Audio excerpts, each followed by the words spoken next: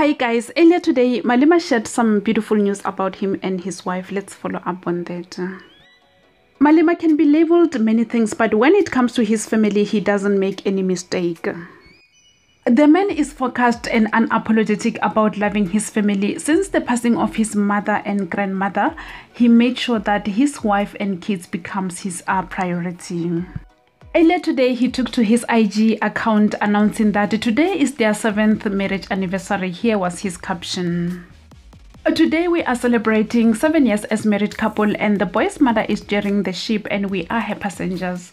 I love you baby. Exciting seven years and we are still going strong because our friends and family are support. Congrats to the both of them and we wish them many more years to come. That will be all from me. Thank you so, so much for tuning in. I'll see you again next time. Bye.